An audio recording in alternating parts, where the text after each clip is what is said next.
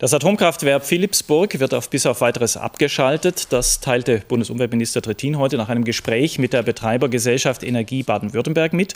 Die NBW zog damit Konsequenzen aus einem Störfall im August. Trittin wirft der Gesellschaft vor, die Anlage weiter betrieben zu haben, obwohl die Betriebssicherheit gefährdet gewesen sei. Der Grund für die Abschaltung liegt einige Monate zurück. Im August vergangenen Jahres war im Block 2 in einem von vier Behältern eine zu geringe Konzentration von Borsäure festgestellt worden. Diese ist notwendig, um den Primärkreislauf des Reaktors bei Leckvorfällen aufzufüllen.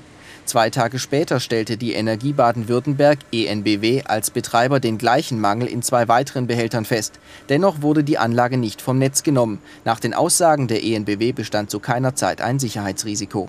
Ich glaube, es gab zu keinem Zeitpunkt die ernsthafte Behauptung, es hätte ein Sicherheitsrisiko gegeben. Was es gibt, ist eine unterschiedliche Einschätzung der Bewertung des Vorkommnisses nach den Normen, die es da gibt. Da gibt es bestimmte Stufen, nach denen eingestuft wird. Der Betreiber muss selbst einstufen. Das wird dann gegengecheckt durch eine Behörde. In dem Fall wurde auch dieses ausdrücklich bestätigt. Insofern äh, fanden wir uns bis vor wenigen Tagen in vollem Einklang auch mit den Behörden. Im Bundesumweltministerium sieht man dies völlig anders. Es sei eine ganze Zeit lang nicht sichergestellt gewesen, dass der Reaktor bei einem Störfall hätte beherrscht werden können.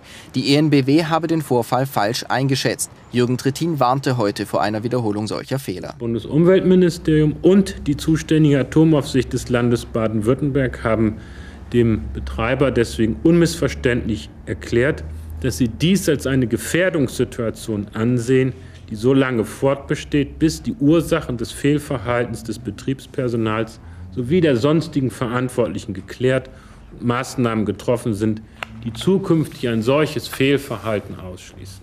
Mit dem Herunterfahren von Block 2 kam die ENBW letztendlich einer Abschaltung des Kernkraftwerks Philipsburg durch den Bundesumweltminister zuvor. Und nun die Wettervorhersage für morgen, Montag, den 8. Oktober. Im Osten und Süden Europas scheint dank Hochdruckeinfluss meist die Sonne. Tief Emil über Irland erweist sich da als rechter Störenfried und beschert uns auch in der neuen Woche wieder Regenwolken. Den meisten Regen lassen diese Wolken allerdings im Westen Deutschlands.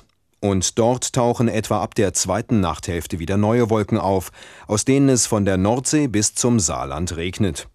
Weiter östlich beginnt der Tag wieder neblig, dann kommt die Sonne hervor.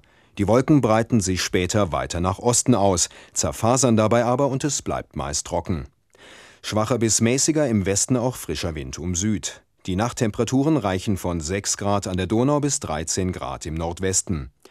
Im Südosten morgen bis 23 Grad, sonst 17 bis 21 an der Küste 16 Grad. Am Dienstag wieder eine Mischung aus Nebel, Sonne und Wolken, Regenschauer vor allem im Westen. Ab Mittwoch wird es immer freundlicher. Zum Teil zwar zähe Nebelfelder, aber dann scheint häufig die Sonne.